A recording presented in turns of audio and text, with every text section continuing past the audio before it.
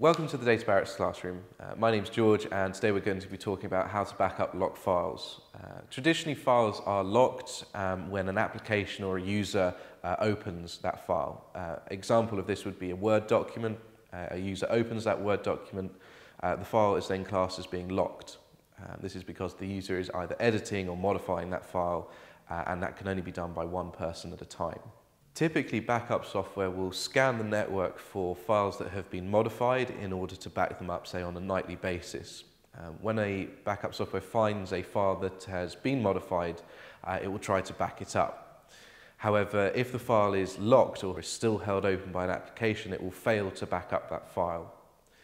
Therefore, one way to get around this is to enable something called VSS, or Volume Shadow Copy. Uh, Volume Shadow Copy is a, a Windows uh, service that runs uh, in the background. Uh, and what the backup software can do is it can request a volume shadow copy is taken of those files.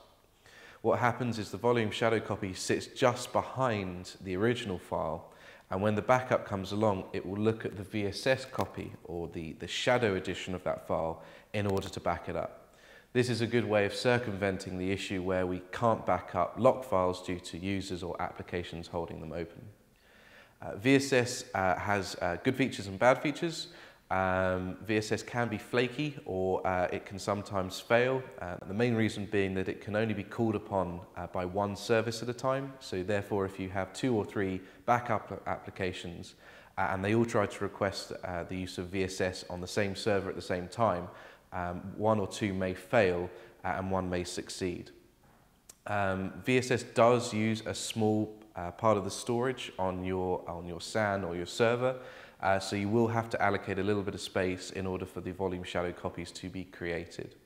However, VSS does have some really good features about it. Uh, the main features that are really good are the ability to back up databases in a, uh, in a good state. Uh, this is especially for, important for, say, Exchange or SQL. Um, you get a clean backup of the uh, database uh, without any sort of discrepancies or mismatches. Uh, one of the other things about VSS that uh, has become quite important uh, is its use within snapshotting.